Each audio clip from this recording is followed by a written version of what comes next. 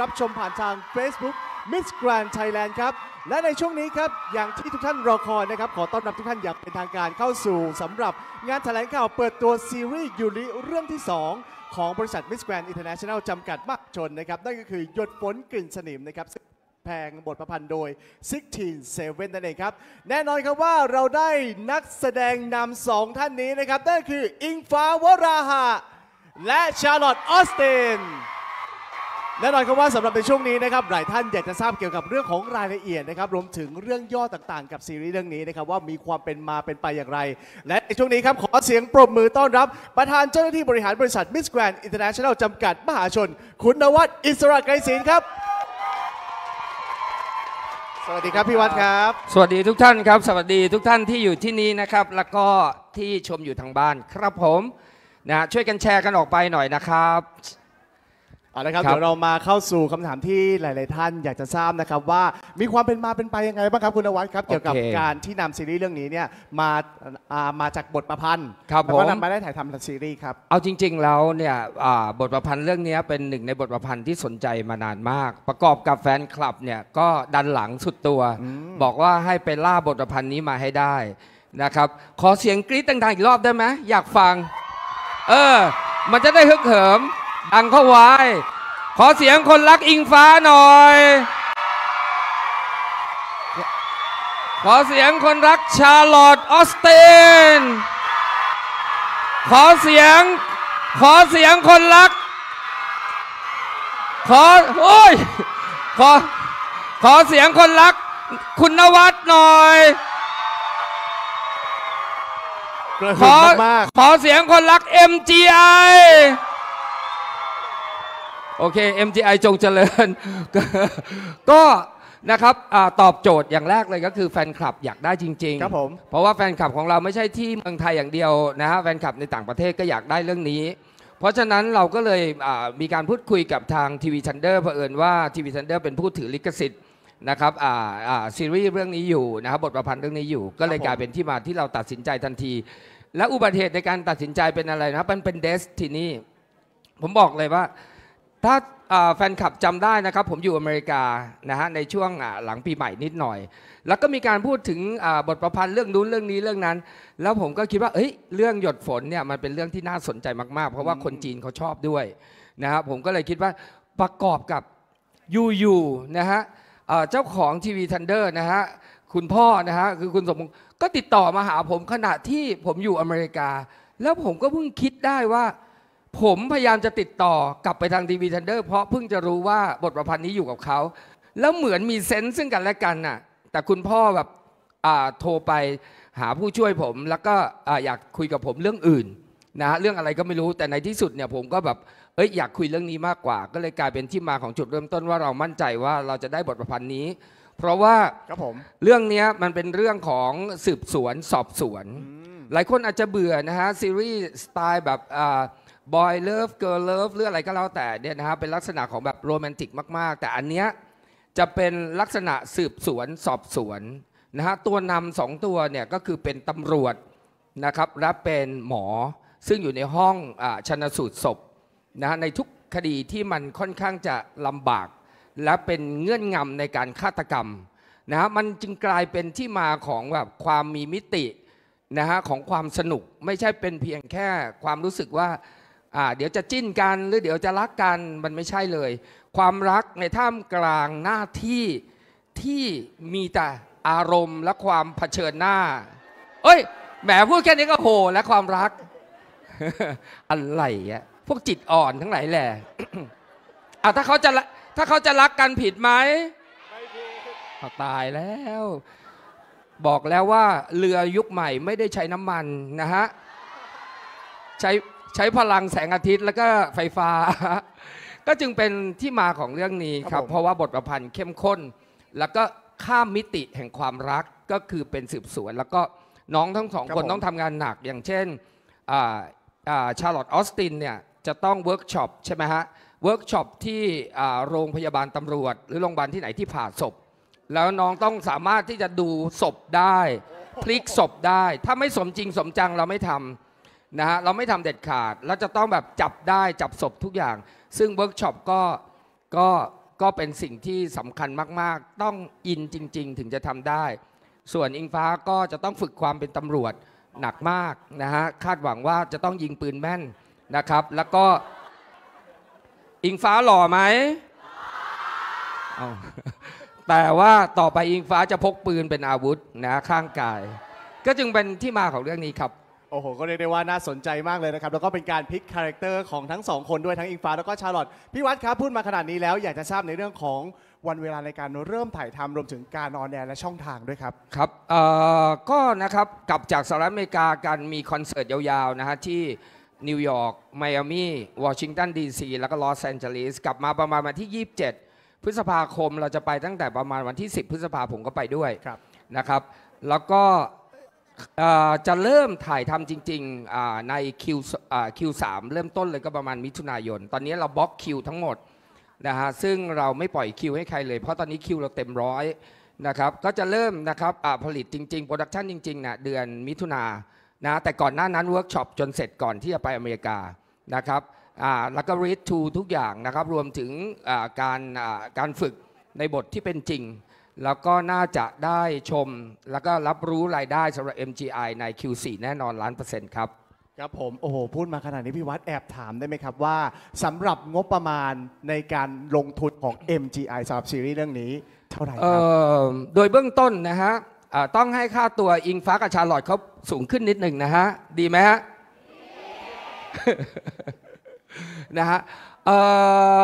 เรามีค่าใช้จ่ายเบื้องต้นนะฮะก็ไม่ได้ว่าเยอะจนเกินไปนะฮะเบื้องต้นน่าจะอยู่ที่คาดการต้องคาดการใช่ไหมฮะอาจารย์เดี๋ยวตลาดเขาว่าเราอีกนะฮะคาดการว่านะฮะไม่ต่ำกว่ารวมทุกอย่างก็ไม่น่าจะต่ำกว่า 3-40 ล้านประมาณนี้ ก็ไม่ถือว่าเยอะจนเกินไปนะฮะเพราะว่าส่วนมากแล้ว cost ก็ไปอยู่ที่ค่า production นะครับแล้วก็ cost ค่าใช้จ่ายค่าตัวรวมถึง extra พิเศษด้วยครับ ครับผมพี่วัฒน์ครับ แล้วเราลงทุนมูลค่า 3-40 ล้านแบบนี้ แล้วในเรื่องของ Return กลับมานะครับ เราจะได้รับรายได้จากทางไหนบ้างครับ ก็เอ่อวิธีการคำนวณหาครับผม รายได้นะครับอ่าสำหรับ MGI วางแผนเอาไว้นะฮะอ้าวเงียบนิดนึงนะฮะมูอย่า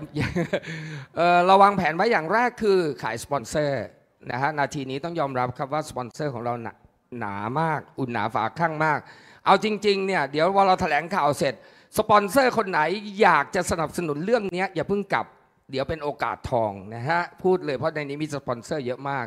สปอนเซอร์อย่างแรกนะครับโอเคอย่างที่ 2 เลยเนี่ยแน่นอนครับเราจะมีแพลตฟอร์มนะฮะที่แตกต่างกันนะครับในครั้งนี้มีทั้งดูฟรี แล้วก็อันคัดดูในช่องที่เป็นเฉพาะสมาชิกที่ต้องเสียเงินนะครับแน่นอนนะครับโวยวายอะไรล่ะนะฮะ เพราะเพราะฉะนั้นใครไม่อยากเสียเงินก็ได้ ก็ไปดูฟรีนะฮะใครอยากเสียเงินก็ดูอันอันคัดนะฮะก็คือไม่เซ็นเซอร์ทุกอย่างจูบเป็นจูบนะฮะ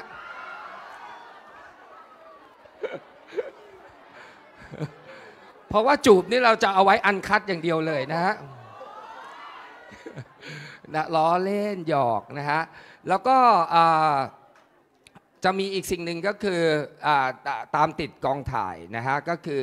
เราจะมีกลุ่มปิดตามติดกองถ่าย ซึ่งถ้าเกิดสมมุติใครเข้ามาในกลุ่มปิดเนี่ยนะฮะเราก็จะมีการหาน้องๆใน 77 คนปีนี้ล่ะ จะเป็นพิธีกรภาคสนามสำหรับการนำกลุ่มปิดนะฮะตามอกองถ่ายตลอด แต่ว่าเราจะให้ดูได้บางอย่างแค่เป็นน้ำจิ้ม เห็นว่ามาถึงแล้วนั่งแต่งตัวอะไรอย่างเงี้ยประมาณนี้ เราก็จะมีรายได้จากตรงนี้นะครับ รวมถึง merchandise นะครับก็คืออสิ่งของต่างๆที่เราจะนำออกมาจำหน่ายนะครับ แล้วก็เราก็ยังมีเรื่องของธุรกิจกับต่างประเทศ แน่นอนครับเรื่องนี้เราไม่ได้มุ่งหวังเฉพาะในประเทศไทยอย่างเดียว เพราะฉะนั้นเราก็จะมีการแปลเป็นภาษาต่างประเทศด้วย แล้วก็นำไปนะฮะนำไปใช้ในแพลตฟอร์มของต่างประเทศ แต่จะฉายที่ไหน ฉายแน่ๆนะฮะแต่จะฉายที่ไหนมีแน่ๆแต่ขออนุญาตนะครับถึงเวลาอันเหมาะสม แล้วเดี๋ยวจะแถลงการร่วมกับช่องทางในการฉายอย่างเป็นทางการนะครับรอให้ทุกคนต้องเซอร์ไพรส์เพราะว่านะครับเทียละสเต็ปละกันนะครับ แต่ว่าการจำการการบอดแคสต์ก็จะมี 2 ช่องทางคู่ขนานกันไปครับ ครับผมโอ้โหก็ได้ทราบที่มาที่ไปนะครับของซีรีส์และการถ่ายทำนะครับในเรื่องนี้นะครับกับหยดฝนกิจสนิม แน่นอนครับว่าช่วงนี้เป็นเวลาที่หลาย ๆ ท่านรอคอยที่จะไปพบกับนักแสดงนำของเราขอเสียงปรบมือต้อนรับ อิงฟ้าวราหะและชาร์ลอตออสติน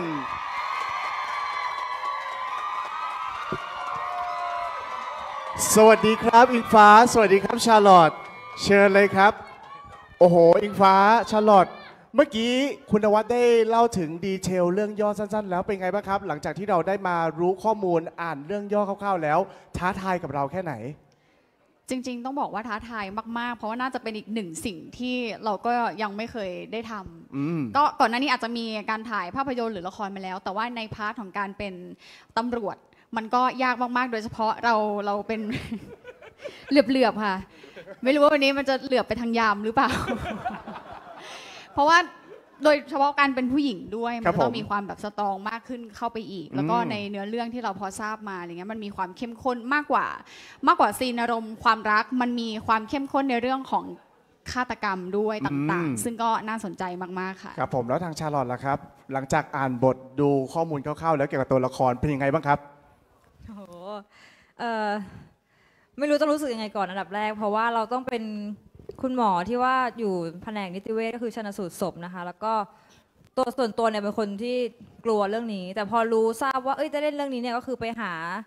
หนังหรือซีรีส์ที่แบบว่าค่อนข้างจะคล้ายคลึงกันดูว่าคุณหมอนิติเวชเนี่ยเขาชันสูตรศพนี่เป็นยังไงบ้างคือทำยังไงมีวิธีการยังไง แต่ว่าอันนี้คือแค่เบื้องต้นค่ะ เดี๋ยวจะมีการไปเวิร์กช็อปอีกด้วยค่ะ ก็ รอลุ้นเหมือนกันว่าจะออกมาเป็นยังไง ก็ตื่นเต้นมาก ๆ เหมือนกันค่ะ แล้วเราเตรียมตัวเตรียมใจแค่ไหนในการที่เราจะไปดูว่าการผ่าศพจริง ๆ เป็นอย่างไรเพื่อให้สมจริงกับซีรีส์เรื่องนี้ จริง ๆ อยากอยากไปมากเลยค่ะจริงเหรอ ตั้ตั้งแต่ดู ตั้งแต่ดูซีรีส์ของของทางเกาหลีอะค่ะก็รู้สึกว่าน่าสนใจแล้วก็เป็นอีกสิ่งหนึ่งที่ท้าทายมาก ๆสำหรับตัวเองด้วยเหมือนกัน ว่าตัวเองจะออกมาเป็นหมอชันสูตรศพ ได้ได้ไหมอาจจะต้องพกยา panic เข้าไปในกองหรือเปล่าแล้วก็กลัวเหมือนกัน แล้วศพนี่คือที่จะผ่าคือยังไม่รู้ว่าเป็นศพจริง ๆ ในเรื่องหรือว่าเป็นคนหรืออะไรยังไง stand-in อะไรเงี้ยถ้าใครสนใจก็สามารถมาเป็นให้ได้สนใจคือให้มาเป็นเป็นศพได้ เป็นเป็นนักแสดงในนักแสดเรื่องงนักแสดงใช่ใช่ครับผมโอ้โหอันนี้เป็นนะครับคุณหมอนิติเวชมาผ่าศพ มาทางด้านตำรวจของเรากันบ้างคุณตำรวจครับ เป็นยังไงบ้างครับ ต้องมี character ในการแบบไปลองยิงปงยิงปืนในการเวิร์กช็อปก่อนที่จะไปแสดงจริง คือจริง ๆ ก่อนหน้านี้ก็ได้มีโอกาสแบบว่าลองยิงปืนมาบ้างแล้วอ่าค่ะที่ไหนแต่ต้องครับบอกว่าหมวดตุลเนี่ยเขาบอกเลยนะว่าเน็ตเอ๋อ spoil ชื่อไปแล้วเนาะไม่เป็นไรเนาะในเรื่องก็คือเป็นหมวดตุล หมวดตุลนี่ต้องบอกเลยว่าปืนพกค่อนข้างยาวนิดนึงค่ะพี่แชมป์ เราอาจจะต้องมีการแบบไปเรียนเพิ่มเติมนิดนึงก็จะต้องมีการทำการบ้านในการที่จะทำท่ายังไงให้มันดูรู้สึกว่าเราเป็นตำรวจแบบมืออาชีพจริง ๆ ก็ถือว่าเป็นงานที่โหดอยู่ค่ะอ่าครับผมถ้าเกิดสมมติว่าย้อนไปเมื่อซีรีส์แรก Show Me Love กระแสตอบรับดีมาก แล้วเราคาดหวังคิดว่ายังไงบ้างสำหรับกระแสซีรีส์เรื่องที่สองนี้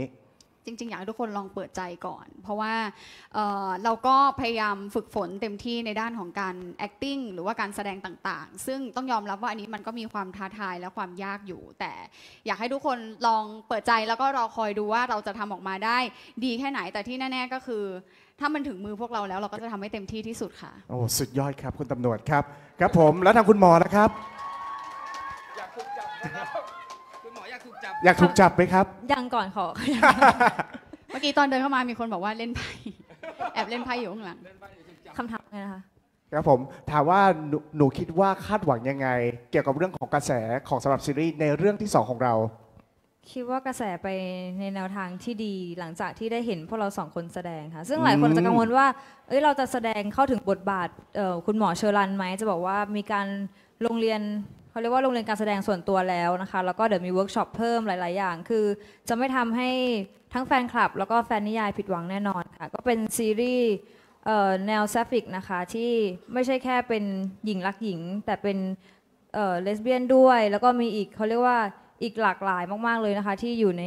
ในเรื่องนี้ก็อยากจะให้ทุกคนเนี่ยช่วยกันเป็นกำลังใจให้พวกเราสองคนด้วยค่ะ ก็เรียกได้ว่าเป็นซีรีส์หลากหลายมิตินะครับที่อาจจะแฝงไปด้วยทั้งความรัก คดีต่างๆนะครับแล้วก็ในเรื่องของการคาดเดาว่าเราจะมีเป็นจุดคลายแม็กซ์เซอร์ไพรส์อย่างไรกันด้วย เพราะฉะนั้นรอติดตาม และแน่นอนนะครับว่าสำหรับอีกหนึ่งบุคคลสำคัญของเรานะครับนั่นก็คือผู้กำกับนะครับและในช่วงนี้เราจะมาพูดคุยกับผู้กำกับของเรากันดีกว่า ในด้านของความยากง่ายกับการกำกับซีรีส์เรื่องนี้ และในช่วงนี้ครับผมขอเรียนเชิญนะครับคุณพันนเรศรุจิรนันท์ครับผู้กำกับซีรีส์หยดฝนกลิ่นสนิมครับ สวัสดีครับ สวัสดีครับเดี๋ยวขอเรียนเชิญเลยครับ ผู้กำกับของเราก็รอด้วย ครับผมครับผมผู้กำกับครับ เป็นยังไงบ้างครับรู้สึกยังไงบ้างที่ได้มาร่วมงานกับ MGI ในการกำกับซีรีส์เรื่องนี้ครับโอ้ส่วนตัวคือตื่นเต้นมาก แล้วก็ทั้งคู่เลยค่ะทั้งคู่เลย แล้วก็เอ่อเป็นโปรเจกต์ที่ใหญ่มากด้วย แล้วก็ตื่นเต้น คราวนี้พอลงเอยว่าเป็นสองคนนี้เราก็ยิ่งตื่นเต้นเข้าไปใหญ่ เพราะเราอยากเห็นมาก ๆว่าหมวดตุลในแบบของ อิงฟ้าอืมอ่าแล้วก็แบบหมอรันในแบบของชาร์ลอตเนี่ยเป็นยังไง ก็เลยแบบเออมันน่าจะสนุกค่ะครับผมแล้วทางผู้กำกับคิดว่าอะไรคือความยากง่ายของการกำกับซีรีส์เรื่องนี้ เพราะว่าอย่างที่ผ่านมาซีรีส์เรื่องแรกของเราเนี่ยจะเป็นในเรื่องของ Girl Love เป็นเรื่องของความรักตะมุตะมิ แต่ว่าอันเนี้ยคือเป็นคดีสืบสวนสอบสวนนะครับเอ่อแน่นอนว่าเรื่องคดีเนี่ยยากแน่นอนอืมแล้วก็ในส่วนของน้องๆด้วยครับที่ต้องเวิร์กช็อปหนัก คือเวิร์กช็อปเนี่ยเราต้องแบ่งเป็นสองส่วนนะฮะก็คือส่วนแรกเรื่องของอาชีพใช่ไหมฮะอย่างแถอย่างเมื่อกี้ที่เรียนกันไปแล้วครับผมเรื่องของอาชีพ ก็ทั้งทั้งมันไม่ใช่แค่เรื่องอาชีพอย่างเดียวมันต้องทั้งกายภาพเนาะวิธีการพูดวิธีการเดิน วิธีการทำตัวทุกอย่างอะไรเงี้ยเพื่อให้สมจริง อย่างที่อย่างที่เรียนไปว่าถ้าไม่สมจริงแล้วคงไม่ทำฮะครับผมแล้วก็ในส่วนของเรื่องของความสัมพันธ์ด้วยอ่าในเรื่องในในเรื่องแต่อะความสัมพันธ์ก็คงคงคงไม่ต้องอะไรมากมายครับผมแต่ว่าทั้งนี้ในเรื่องเนี่ย อะไรมากมายยังไงบ้างครับ ขยายความอีกนิดนึง หมายความว่าน้องสนิทกันอยู่แล้วอ่า อ่าโอ้โหอ่า ครันะบ โอเคค่ะ ค่ะ จบเลย ประมาณนี้ค่ะก็เดี๋ยวหมายหมายหมายความว่าเราก็มีการเวิร์กช็อปด้านความสัมพันธ์ในเรื่องอืม ในเรื่องอ่าเพราะว่าต้องเป็นกองเชียร์ อ่า เพราะว่าในเรื่องเนี่ยมันต้องเป็นเป็นหมอเนาะครับผม แล้วก็เป็นเป็นตำรวจอ่าแล้วตอนแรกเขาก็อาจจะมีแบบไม่ถูกกัน อืม แล้วก็พัฒนาความสัมพันธ์อะไรไปเรื่อยๆ อะไรประมาณนี้ก็ต้องรอติดตามนะครับว่าการพัฒนาความสัมพันธ์จะเป็นอย่างไรครับ ผมคุณณวัฒน์ครับ บ่าวเขาอยากถามว่าเวเวลาถ่ายทำจริง ๆ ที่ไม่ใช่เวิร์กช็อปประมาณสักกี่คิวฮะ เอ่อ ประมาณยี่20ประมาณคิว25 ค่ะ 25 ค่ะนะฮะ25ถึง30 วัน 30 คิว ไม่รวมเวิร์กช็อปอีกเยอะมากนะครับ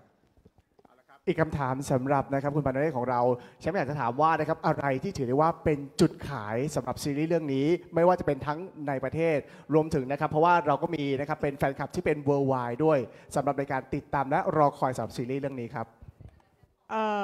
ความน่าสนใจก็อย่างอย่างเมื่อกี้ที่ที่เรียนไปแล้ว ก็คือจะเน้นย้ำอีกทีหนึ่งว่าซีรีส์เรื่องนี้เป็น Girl Love เนาะอย่างที่ทุกคนรู้นะคะ แล้วก็ดัดแปลง ดัดแปลงมาจากนิยายที่ที่มีชื่อเสียง แล้วก็คราวนี้มันไม่ใช่แค่เรื่องรักอย่างเดียวด้วย มันมีทั้งเรื่องสืบสวนสอบสวน มีเรื่องของอคดีต่างๆ เราเชื่อว่าหลาย ๆ คนก็น่าจะ แฟนๆ ก็น่าจะติดตามอยู่แล้วในเรื่องนี้ค่ะแล้วก็รวมถึงได้น้องๆ ทั้งสองคนมารับบทตรงนี้ด้วยก็น่าสนใจแน่นอน สนุกแน่นอนค่ะ พูดมาขนาดนี้แล้วนะครับ อยากจะให้ออนแอร์เลยนะครับ แล้วก็อยากจะดูกันแล้วสำหรับซีรีส์เรื่องนี้ฝนกินสนิมนั่นเองครับ และแขกผู้เกียรติทุกท่านครับ และเป็นที่แน่นอนนะครับสำหรับที่คุณวัดได้บอกกับเราไปนะครับว่าสำหรับการผลิต ซีรีส์เรื่องนี้นะครับในเรื่องที่ 2 ของ MGI ครับเราก็ได้นะครับรับเกียรตินะครับจากทางบริษัททีวีทันเดอร์จำกัดมหาชนที่มาผลิตในการทำซีรีส์เรื่องนี้ และในช่วงนี้ครับผมขอเรียนเชิญครับคุณนัฐกิจวรรณพินโยครับประธานเจ้าหน้าที่บริหารสายงานปฏิบัติการบริษัททีวีทันเดอร์จำกัดมหาชนด้านบนเวทีครับเรียนเชิญครับสวัสดีครับ เดี๋ยวขอเรียนเชิญเลยครับ อันนี้เคยรู้จักคุณพ่อ นะฮะพิมพ์พิมพ์มาไม่เหมือนนะฮะสูงมากเขาเขาบอกตอนหนุ่มๆเขาประมาณนี้นะฮะเอาจริงเหรอฮะครับผมอยากจะถามนะครับคุณนัฐกิจนะครับว่าอะไรคือความมั่นใจในการผลิตสำหรับซีรีส์เรื่องนี้นะครับกับหยดฝนกินสนิมให้กับ MGI ครับผมว่าน่าจะเป็นองค์ประกอบทุกอย่างที่เกี่ยวพันอยู่ในอยู่ในเรื่องนะครับเอ่อจริงๆการทำงานงานคอนเทนต์ออกมาสักอันหนึ่งที่ทำให้มีคุณภาพอะมันผ่านหลายส่วนมาก นะครับส่วนสำคัญแน่นอนเป็นทีมงานนะครับเรามั่นใจทีวีทันเดอร์เองเราก็มั่นใจนะครับในทีมงานที่ทำซีรีส์ทุกๆเรื่องที่เรามีนะครับแล้วก็แน่นอนเป็นในส่วนของนักแสดงนะครับนักแสดงโดยเฉพาะนักแสดงนำทั้งสองท่าน แล้วก็คงจะมีนักแสดงคนอื่นๆท่านอื่นๆนะครับที่จะอยู่ในเรื่องนะครับเราก็จะทำหน้าที่ของของเราให้เต็มที่นะครับบทละครนะครับก็เป็นส่วนสำคัญอีกหนึ่งส่วน ซึ่งอย่างที่บอกว่าเรื่องนี้เองก็เป็นเป็น เป็นหนังสือที่มีมีแฟนอยู่แล้วด้วยนะครับแล้วก็รายละเอียดของเรื่องเองก็มีเสน่ห์มากๆนะครับผมว่าทุกองค์ประกอบเป็นสิ่งสำคัญที่ทำทำเป็นจำเป็นจะต้องอพบพบเจอให้ถูกต้อง แล้วก็ทำหน้าที่ของแต่ละคนให้เต็มที่ ผมว่ามันจะออกมาดีแน่นอน แน่นอนครับผมทุกท่านรอติดตามกันได้เลยนะครับ ครับเอาจริง ๆนะครับ ก็ได้เข้าไปคุยด้วยตัวเองด้วย เข้าไปคอนซัลท์ก่อนที่จะตัดสินใจเลือกนะครับ ไม่ได้หมายความว่าเอ้ยเราคิดปั๊บเราเลยไปหา TV Thunder อย่างเดียวไม่ แต่ว่าเราได้พูดคุยกันแล้วเนี่ยในหลาย ๆ จุดแล้วเรามีความรู้สึกว่า เราอยากมอบงานชิ้นนี้ให้กับ TV Thunder เพราะเนื่องจากว่า TV Thunder เคยทำแต่อ่าผู้ชายนะครับ เพราะฉะนั้นเนี่ยมันยังไม่มีเขาเรียกว่าพิมพ์เขียว เราอยากให้แบบ girl love ในในในเรื่องเนี้ยไม่ต้องเดินตามพิมพ์เขียวของใคร อยากจะให้เป็นเอกเทศขึ้นมา แล้วก็แบบเป็นโมเดลใหม่นะฮะนี่คือจุดที่สำคัญแล้วก็ที่ที่สำคัญมากไปกว่านั้นก็คือทางอ่าทางบริษัทนี้เขาก็จะมีเรื่องของ production ในทุกรูปแบบครบสมบูรณ์ เพราะฉะนั้นเนี่ยเราก็จะทำ10 episode นะฮะ10 EP นะครับ10 ตอนในทุกๆ ตอนเราจะแบ่งออกเป็น 2 แบบนะฮะแบบ Official กับ Unofficial คือ Uncut นะจะได้ดูทั้งสองแบบไล่กันไปเรื่อยๆนะครับเพราะฉะนั้นมันก็จะเป็นในความเป็นหลากหลายมิตินะครับแล้วก็ใช้อัตประโยชน์สูงสุด จากการถ่ายทอดบทประพันธ์ที่ผมบอกเลยนะ แค่บทประพันธ์ก็ขายได้ตอนนี้ก็เหลือเราละครับ เราจะขายอะไรกันต่อไปให้มันสมใจอยากสำหรับคนที่อ่านบทประพันธ์นี้ ซึ่งเป็นหนังสือที่ถูกการอ่านเยอะที่สุดนะฮะหนังสือเล่มหนึ่งครับกับผมและพี่วัดครับ แน่นอนว่าแฟนๆ ต่างตั้งตารอคอย เราจะได้รับชมกันประมาณช่วงไหนครับ ย้ำอีกทีหนึ่งนะครับว่าอ่าเราจะได้ดูแน่ๆใน Q4 นะครับ ความคาดการณ์เนี่ยน่าจะประมาณสักตุลาพฤศจิกานะครับ ได้ดูแน่ๆนะขึ้นอยู่กับว่าความ peak ของเราว่าเราจะ peak หนักแค่ไหนในงานของเรา แล้วก็เป็นไปตามเป้าหมายสำหรับ term and condition ในการผลิตนะฮะถ้าสมมุติว่ามันละเมียดมากขึ้นมันอาจจะมีบ้างนะครับ แต่อย่างไรก็แล้วแต่ ไม่น่าจะเกินนะครับใน Q4 ทั้งหมดนะครับเราจะได้ชมเรื่องนี้กันนะครับ ก็ปีละเรื่องนะฮะแต่ว่าปีนี้อาจจะ ทางนิดนึงนะครับ เพราะว่าอ่าปีที่แล้วมันกลางกลางๆปี เราก็ได้ดูกันแล้ว ปีนี้ก็อาจจะเป็นช่วงปลายปี แต่ยังไงก็แล้วแต่จบก่อนสิ้นปีนี้แน่นอนครับครับผมและนี่เลยครับคือการผนึกกำลังนะครับของ MGI นะครับที่เรามีทั้งนะครับฐานการผลิตจากทีวีทันเดอร์รวมถึงนะครับผู้กำกับมากฝีมือและนักแสดงนำของเราทั้งอิงฟ้าและชาลอตและนี่คือหยดฝนกลิ่นสนิมครับ เอาละครับและสำหรับในช่วงนี้ครับผมขอพาทุกท่านครับเข้าสู่อีกหนึ่งช่วงที่สำคัญนะครับและขอเรียนเชิญทุกท่านครับผมจะพาทุกท่านเข้าสู่ช่วงของการ signing MOU ของเรานะครับในการสายนะครับสัญญาจ้างผลิตนะครับระหว่าง MGI และ TV Thunder นั่นเองครับ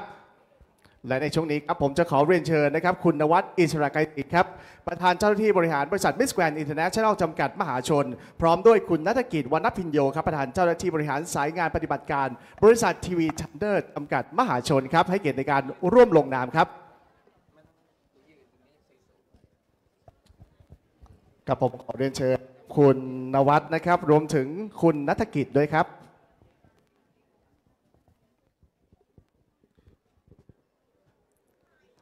ที่จะมาร่วมสายนะครับสัญญา MOU นะครับกับสัญญาจ้างผลิตนะครับระหว่าง Miss Grand International จำกัดมหาชนและ TV Thunder ครับแน่นอนครับว่าสำหรับในช่วงของไตรมาสที่ 4 ทุกท่านได้รับชมกันอย่างแน่นอนกับซีรีส์นะครับในเรื่องที่ 2 ของบริษัท Miss Grand International จำกัดมหาชนครับกับหยดฝนกลิ่นสนิมนะครับกับ p e t t y Shaw นั่นเองครับ อันนี้ก็ถือได้ว่าเป็นอีกหนึ่งช่วงเวลาที่สำคัญนะครับในการที่ทั้ง 2 บริษัทยักษ์ใหญ่นะครับมาร่วมในการสายนะครับ MOU ของเรา ขอเสียงปรบมือให้กับทุกๆท่านด้านบนเวทีด้วยนะครับ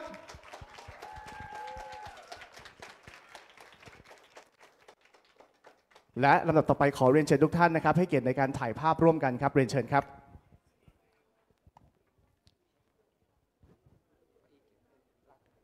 ขอเรียนเชิญทั้ง 5 ท่านเลยนะครับ รวมถึงขอเชิญนะครับสำหรับช่างภาพและสื่อมวลชนของเราในการเก็บภาพนะครับสำหรับช่วงเวลาประวัติศาสตร์ของเรานะครับในการร่วมนะครับ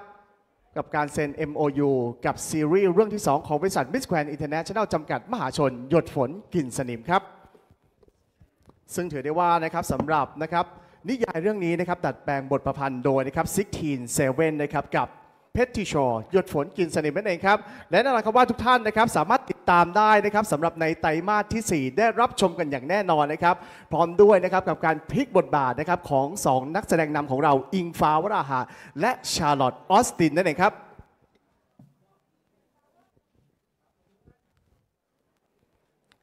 เอาละครับทุกท่านครับ และขอเสียงปรบมือให้กับทุกท่านด้านบนเวทีด้วยนะครับ และนี่คือทั้งหมดของหยดฝนกลิ่นสนิมซีรีส์ยูริเรื่องที่ 2 ของบริษัท Miss Grand International จำกัดมหาชนนะครับ ฝากทุกท่านติดตามผลงานของพวกเราเร็วๆนี้ครับ ขอบคุณทุกท่านเป็นอย่างสูงครับ ขอบคุณนะครับ เอาละครับ และสำหรับในช่วงนี้เราคุณนวัดยังขออยู่ต่อด้านบนเวทีพร้อมด้วยอิงฟ้าและชาลอตนะครับ เพราะว่าเราก็ยังมีอีกหนึ่งแขกพิเศษนะครับ ซึ่งท่านเนี่ยเป็นนักธุรกิจจากฮ่องกงที่มาร่วมเป็นส่วนหนึ่งสำหรับงานแถลงข่าวในวันนี้ด้วยนะครับ ซึ่งวันนี้เขาจะมีของขวัญเล็กๆ น้อยๆมามอบให้กับคุณนวัดด้วย และขอเรียนเชิญด้านบนเวทีครับคุณไซมอนสุพริส come up to the stage Mr. Simon to present a special gift to Mr. นวัดครับผมขอเชิญคุณไซมอนเลยนะครับ Mr. Simon is uh, he is a businessman from Hong Kong, so you have the special gift to give it to Mr. Nawat in the room. Okay, confidentially. okay ครับผมอ๋อเดี๋ยวเขาไปเอามาครับผมเดี๋ยวรอคุณไซมอนแป๊บหนึ่งอะระหว่างนี้ ขอเชิญคุณนวัดครับ ไม่หรอกครับอ่าคุณไซมอนเป็นแฟนคลับของ MGI แบบก้นบึ้งเลย เพราะว่าเวลามา ผมก็สงสัยว่าทำไมเขาต้องเอาเงินมาให้ผมทุกครั้ง นะฮะเขาซื้อของมาให้นี่คือนับไม่ถ้วนแล้วอะก็ซื้อตะแบรนด์เนมให้ แล้วก็เมื่อสักครู่เนี้ยเขาก็ยึกยักยึกยักเขาจะให้อะไรผมสักอย่างหนึ่งเขาเขาบอกว่าของขวัญมาให้แต่ให้ไปซื้อเอง เอาเงินมาให้สองแสนผมก็บอกว่าแน่จริงมาให้บนเวทีเลยนะฮะเพราะครั้งที่แล้วก็ให้ผมสองแสนนะครับตอนที่มาคอนเสิร์ตน้องสแน็คนะฮะก็ดูไว้นะครับเป็นแบบอย่างที่ดีนะครับ ก็ นะฮะเรายังต้องการนะฮะเงินอยู่นะฮะโดยเฉพาะเงินที่ไม่ต้องทำงานเยอะก็ดีฮะนะฮะก็ก็เลยก็เลยก็เลยชวนแกนิดหนึ่งนะฮะเอาเปิดทางให้แกหน่อยเลยฮะแกตัวเล็กมากกำลังเดินทางมาแล้วนะฮะแกแกมาจากฮ่องกงเมื่อเช้านี้นะครับเป็นอ่าเป็น investor นะครับเกี่ยวกับธนาคารนะอะไรอย่างเงี้ยนะฮะแกรัก Miss Grand มากนะครับนะฮะแกรัก Miss Grand มากเลยต้องขออนุญาตแกล้งแกหน่อยนะฮะเพ ราะแกมาทุกครั้งแกก็เสียเงินให้เราทุกครั้งฮะไม่รู้ครับเป็นอะไรฮะโอเคโอเค once againครับคุณไซมอนครับเรียนเชิญครับว้าวเอาละครับและขอเสียงปรบมือให้กับคุณไซมอนนะครับ รวมถึงคุณณวัฒน์ด้วยนะครับ โอ้อันนี้เปิดโชว์เลยใช่ไหมครับ เปิดโชว์ อันนี้เป็น scene เซอร์ไพรส์มากเลยนะครับ โอ้โห เอาอีกซองหนึ่งนะครับ โอ้โห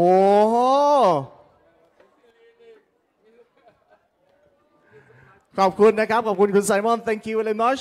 ขอบคุณคุณนวัดขอบคุณชาลอตขอบคุณอิงฟ้าด้วยนะครับ รวมถึงแฟนๆทุกคนนะครับที่อยู่ณนะครับโรงแรม Swiss Hotel Bangkok รัชดานะครับ และติดตามทาง Facebook Miss Grand Thailand ขอบคุณทุกท่านนะครับ ที่มาร่วมเป็นส่วนหนึ่งในงานแถลงข่าว ซีรีส์ยูริเรื่องที่ 2 ของบริษัท Miss Grand International จำกัดมหาชน หยดฝนกินเสนิมสำหรับวันนี้ ขอบคุณทุกท่าน สวัสดีครับ